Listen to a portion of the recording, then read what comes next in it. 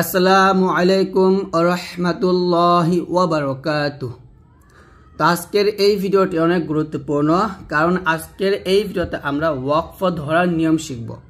দেখুন, এখানে লেখা আছে, ওয়াকফ ধরার কিছু নিয়ম, যেখানে দম ফেলতে হয়, আবার যেখানে দম ফেলতে হয় না। অর্থাৎ আমরা অনেকগুলো নিয়ম শিখব ওয়াকফ ধরার। কিছু কিছু জায়গায় আছে, সেখানে দম ফেলতে হবে। আবার কিছু কিছু জায়গায় আছে, সেখানে দম ফেলা যাবে না। কোথায় দম ফেলতে হবে, আবার কোথায় দম ফেলা যাবে না, এই বিষয়গুলো আমরা এই ভিডিওগুলোতে বিস্তারিত আলোচনা করব। তো ওয়াকফ ধরার নিয়ম নিয়ে আমি প্রায় বিশটার কাছাকাছি বা এর বেশি ভিডিও বানাবো।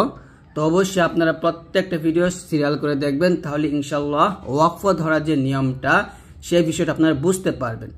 অনেকে আমরা হয়তো ওয়াকফ বিষয়টা বুঝতে পারতেছি না ওয়াকফ অর্থ হচ্ছে, ওয়াকফ অর্থ হচ্ছে দাড়ি।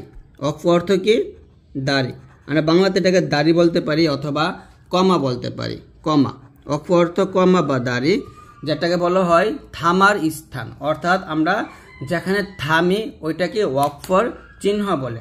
আরবিতে ওয়াকফর চিহ্নটা অনেকভাবে আসে। এভাবে গোল চিহ্ন আসে, আবার মিম আসে, লাম আলিফ আসে, সদ আসে, ফা আসে, ত আসে। তারপরে হচ্ছে ফা, কফ আসে। তো এইভাবে ওয়াকফের চিহ্নগুলো আসে। তো আমি যদি আপনাদেরকে কোরআন মাঝে থেকে দেখাই বা কাজে থেকে দেখাই, আমরা কিন্তু সবাই সুরা ফাতিহা পড়ি। দেখুন, আলহামদুলিল্লাহি রব্বিল আলামিন। এই যে আলামিনের পর যেটা গোল চিহ্ন, এই গোল চিহ্নকে বলা হবে ওয়াকফ। তো আমরা কিন্তু এইভাবে গোল চিহ্ন দিয়ে ওয়াকফ বোঝাই। আবার এই গোল চিহ্নের উপরে কিন্তু এই হরফগুলো থাকতে পারে। তো এটাকে বলা হয় ওয়াকফ। আর ওয়াকফ মানে হচ্ছে থামার স্থান বা আমরা যেখানে থামবো, আমাদের দম ফেলব, সেটা হচ্ছে ওয়াকফের জায়গা। তো আমরা প্রথমে যে স্থানটা শিখব, সেটা হচ্ছে ওয়াকফে লাজিম বা মিম। মিমকে বলা হয় ওয়াকফে লাজিম। অর্থাৎ যেখানে আপনি মিমটা পাবেন অনেক সময় আপনারা এভাবে মিম পেতে পারেন, আবার এই গোল চিহ্নের উপর এভাবে মিম পেতে পারেন। মানে আয়তের শেষে আপনারা এভাবে মিম পাবেন, আবার গোল চিহ্নের উপরও কি এভাবে মিমটা পাবেন। তো এইভাবে যদি আপনারা মিমটা পান, তো এই মিমকে বলা হবে ওয়াকফে লাজিম। ওয়াকফে লাজিম বলা হয়। আর যেখানে ওয়াকফে লাজিম আছে, সেখানে ওয়াকফ ধরা কিন্তু বাধ্যতামূলক। অবশ্যই আপনাকে কি করতে হবে? ওয়াকফ ধরতে হবে। এখানে আপনাকে ওয়াকফ ধরতে হবে। না ধরলে কিন্তু আপনার আয়াতের অর্থের পরিবর্তন হতে পারে। তো যেখানে আপনারা ওয়াকফের উপরে মিম পাবেন অথবা শুধু মিম পাবেন, তো সেখানে আপনি কি করবেন? ওয়াকফ ধরবেন। ওয়াকফ যদি না ধরেন, তাহলে কিন্তু গুণা হতে পারে। তো অবশ্যই সেখানে ওয়াকফ ধরতে হবে। যেমন এখানে আমি লিখছি সইফ স দিয়া যাবে সইফ হাজের, ফি সইফি অক্ষ ধরলে এই ফাটা কি হয়ে যাবে? সাকিন হয়ে যাবে। সইফ এরকম। তারপরে, ফাল মুদাব্বিরাতি আম র এরকম ভাবে আমরা অক্ষ ধরবো। যদি অক্ষর অবস্থায় তানভিনে দুই জবর আসে, তাহলে আমরা কি করব? এক জবর রাখব আর আরেক জবর স্থান থেকে বাদ দিয়ে এক লিপটানে পড়ব। এখানে এক লিপটান দেবো। আম র হবে। এখানে আছে আম রন অক্ষ ধরলে হবে আম র এভাবে। এখানে আছে সয়, ইয়াজবা সয় ফাজাফি সয়ফি, আর অক্ষ হবে সয়ফ। এটাকে বলা হবে মধ্যে লিন। কি বলা হবে? মধ্যে লিন। আর মধ্যে লিন এক লিপটানে পড়তে আর এটাকে বলা হয় মধ্যে মধ্যে অ্যাওয়াজ মধ্যে অ্যাওয়াজও কি? এক লিপ পরিমাণ টেনে পড়তে হবে।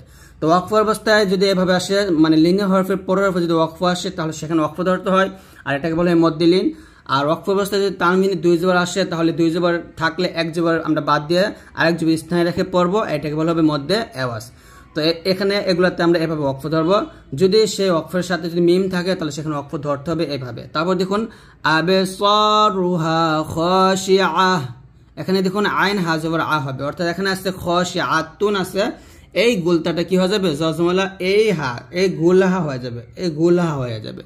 অর্থাৎ ওয়াকফর অবস্থায় যদি গুলতা থাকে, আর সেখানে যদি আমরা ওয়াকফ ধরি, তাহলে সেই গুলতাটা জজমলা গুলহা হয়ে যাবে। তাহলে এখানে হবে সিনজবর শাহ আইন জবর আ, যে সিনজবর শাহ আইন হাজবর আহ, এরকমভাবে আমরা উচ্চারণ করব। সিনজবর শাহ আইন হাজবর আহ, এরকম। এই গুলতাটা জজমালা এই গুলহা হয়ে যাবে। ওয়াকফের অবস্থায় যদি এভাবে গুলতা থাকে, আর সেখানে যদি আমরা ওয়াকফ ধরি, তাহলে সেই গুলতাটা কি হয়ে যাবে? এভাবে গুল হাও হয়ে যাবে। তো আমরা এখানে গুল হা উচ্চারণ করব। যেমন আবে সরুহা খশিআহ তো এইভাবে আমরা ওয়াকফটা ধরবো।